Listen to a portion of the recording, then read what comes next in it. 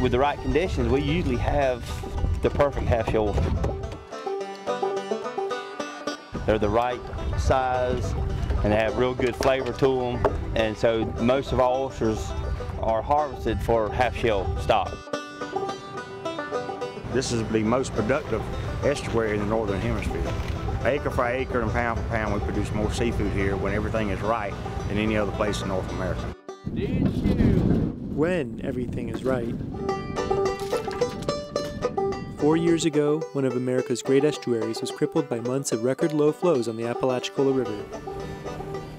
I'm heading out into the bay with WFSU FM's Jim Ash to get a sense of how the oyster and shrimp industries are recovering. Well, legal oyster, we've been catching two, three, four bags a day. This is some of that stuff we shell planted last year, right, right before the. It really, it's really put a growing on. Apalachicola Bay used to provide 90% of Florida's oyster harvest and 10% of the nation's. But since 2012, the bottom of the bay looks a lot like this. Oysters need hard surfaces on which to grow, such as other oyster shells.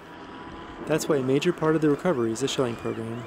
All this was shelled about nine months ago, and you're finding some legal oysters in it.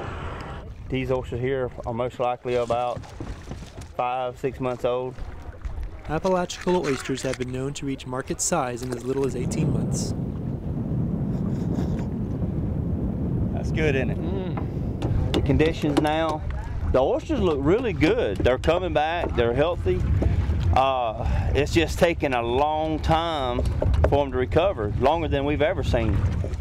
The two to three bags Eugene is harvesting are just under the current four bag limit. When the bay was healthier, the limit was 20 bags. With their earning potential diminished, oystermen are turning to other jobs. It's a big issue for the people here. We don't have manufacturing jobs here. Uh, we have a height limit. You cannot build above 35 feet high. We don't have 10-story condominiums. We don't have Walmarts. We don't have movie theaters. We don't have shopping malls. I know families, whole families have had to pick up and leave. Uh, a lot of them tries to go and be gone two, three months at a time and come home to their family. Uh, but uh, yeah, it's changed a lot. We don't have the money here in Franklin County that they have in, in Metro Atlanta. No, and we never will. It's not about that. It's, it's about protecting the environment, protecting the way of life, protecting the heritage and the history of our, our community and our county and the people that live here. The Army Corps of Engineers Water Manual for the ACF Basin gives priority to the state of Georgia. During an extreme drought in 2012, the Corps restricted river flow to 5,000 cubic feet per second, close to the minimum allowed. This lasted 10 months, the driest recorded period on the Apalachicola River. Productivity is directly tied to freshwater input. The landings correlate with low water flows. When you have low water flows here, the landings go down. As you can see in the graph, the shorter life cycle of shrimp makes them more immediately vulnerable to changes in freshwater input than oysters. After a few wet years, we're likely not far from another cyclical dry period. The latest version of the ACF Water Manual still gives priority to Georgia, and an upcoming lawsuit between Florida and Georgia is unlikely to settle the issue soon.